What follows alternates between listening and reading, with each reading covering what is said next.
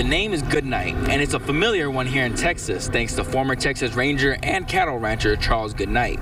His relative Keenan and his wife Piper are set to open up this liquor store that's standing right behind me to commemorate both Charles and our state's history. So our theme is kind of Texas history. And so we are going to have like a corner of the store that is going to be dedicated to like Charles Goodnight and the history of Charles Goodnight and Buffalo. Oh, this is West Texas, you know. That's that's our theme too. It's it's you know, we're a very unique place out here. That's why I love living out here. Aside from the store, Keenan is a Midland police officer, and his wife Piper takes care of their children and the home. The two are both Midland natives who wanted to one day own their own family storefront. Now, that dream is becoming a reality. One of my uh, buddies called me and he goes, Hey, you want to get into business together? And I was like, Yeah, what do, you, what do you have in mind? And he goes, Well, what if we could get our hands on a liquor store? And I go, That's a great idea.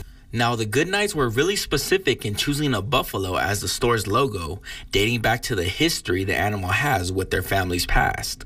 You know, it's kind of what the Goodnights are, are known for. Ever since Charles and uh, Molly domesticated the buffalo in the 1800s and uh, really kind of preserved that species, you know, it's it's it's kind of their kind of their mark. And although opening a business may be a frightening experience, the Good Goodnights say they're prepared for it. We've been through stuff with, you know, our kids and all sorts of stuff and we've always come out on top and so I think together we can definitely make it happen. There's no specific date as to when the store will be open, but the Goodnights did tell me that they do plan to open up sometime in late June. And you can find the address right here at 4601 Crosspoint Drive. Reporting in Midland, Jesse Zaragoza, ABC Big 2 News.